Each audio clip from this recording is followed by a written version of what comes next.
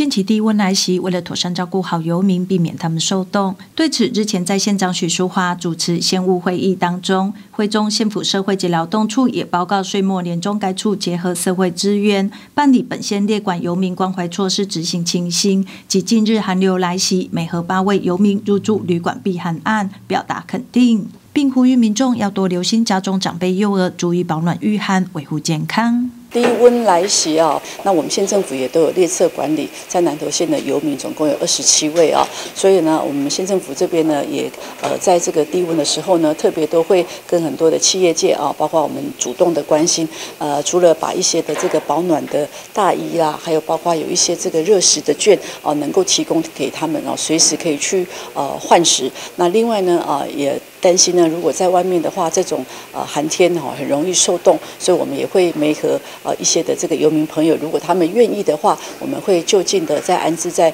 一些的饭店里头，啊，让他们可以比较有舒适的这个环境啊，可以来度过这个低温。县议员林如阳指出，近期气温急速下降，感谢县府对于游民的重视及关心。就本县二十七位列车管理关怀，并主动结合企业团体等社会资源。募集保暖、衣被保暖，并提供热食券，让游民能够换食温饱。也期许借由这样的方式，能够唤起社会大众的重视，将爱心传递下去。那感谢南投县政府特别呃，为了我们的。这个有列车的一些街友们，那做一些媒合，那也希望说，在这个呃寒流来袭的时候，这些街友们能能够得到这个妥善的照顾。那所以南投县政府特别媒合了一些旅馆啊，并且找了一些呃可能冬天度过冬天的这些服装，那希望说这协助这些街友，些需要帮助的人都可以度过这个寒冬。那也希望说我们南投的乡亲们，大家要注意保暖，那自己的身体要顾好，那我们一起抵抗这个寒。寒冷的冬天，那也希望说大家